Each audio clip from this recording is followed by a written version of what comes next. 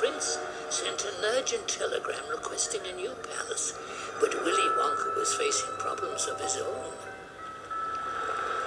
All the other chocolate makers, you see, had grown jealous of Mr. Wonka.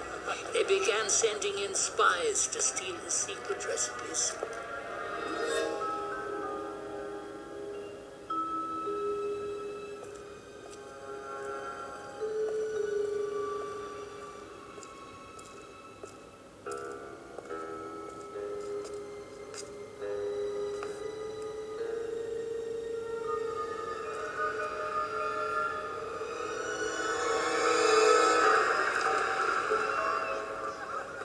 Fickelgruber started making an ice cream that would never melt.